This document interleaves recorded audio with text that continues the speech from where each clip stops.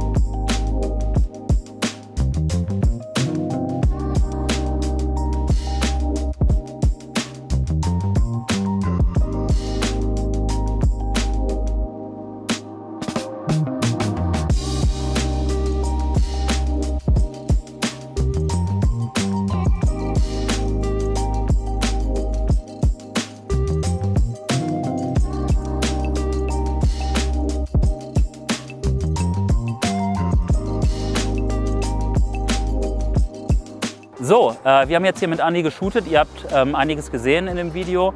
Mir hat es richtig viel Spaß gemacht. Ich hoffe, ihr konntet auch so ein bisschen Inspiration daraus ziehen. Ganz kurzer Rückblick nochmal zum Shooting. Ich hatte ja ähm, eigentlich vor, mit der Q analog und mit der M10 zu fotografieren. Ich habe nur mit der M10 fotografiert, weil ich irgendwie einfach so im Flow war. Und dann wollte ich den auch nicht brechen. So, ne, dann wollte ich einfach drin bleiben und eine Brennweite, eine Bildsprache. Es hat richtig viel Spaß gemacht. Die Bilder sprechen hoffentlich für sich. Ich hoffe, ihr mögt sie. Wir haben ein bisschen Musik dabei angemacht, weil das nochmal den Vibe etwas verstärkt hat. Das kann ich euch nochmal empfehlen. Äh, nehmt eine Bluetooth-Box mit, die Dinger gibt es für ab 50 Euro und dann schön Musik ballern. Fragt das Model, was für Musik das Model gerne mag. Äh, überlegt euch, was ihr gerne hört und dann findet man immer einen coolen Kompromiss und dann hat man einfach auch ein Happening.